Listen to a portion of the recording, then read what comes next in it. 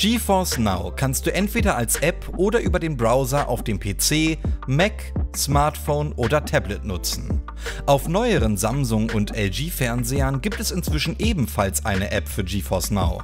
Wenn du allerdings keinen unterstützten Smart TV besitzt oder kein Gerät mit Android TV hast und dennoch GeForce Now auf deinem Fernseher nutzen möchtest, kannst du dafür verschiedene Geräte einsetzen, wie zum Beispiel einen Android TV Stick, Google TV Stick oder den Nvidia Shield TV Pro.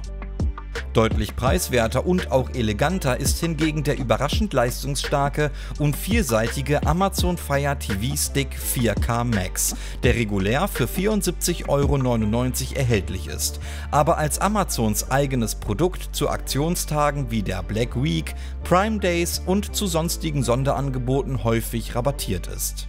Du kannst diese Anleitung selbstverständlich auch nutzen, um GeForce Now auf einem anderen Stick zu verwenden, allerdings besticht dieses Modell neben anderen Features durch seinen 1,8 GHz Quad-Core-Prozessor, einer GPU mit 750 MHz und satten 2 GB Arbeitsspeicher, die dafür sorgen, dass GeForce Now auch möglichst gut läuft. Eine coole Sache am Fire TV Stick ist nämlich, dass du ziemlich einfach Apps als APK-Dateien von Drittanbieterquellen herunterladen kannst. Alles was du dafür benötigst, ist die App Downloader. Dafür einfach den Fire TV Stick starten und auf den App Store gehen und bei den Kategorien alle Kategorien einblenden und dann auf Werkzeuge gehen und den Downloader herunterladen und installieren.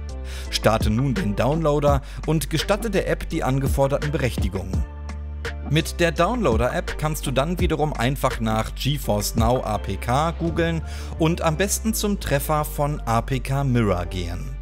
Dort kannst du dann einfach bei der aktuellen Version der APK zum Download-Symbol durchklicken.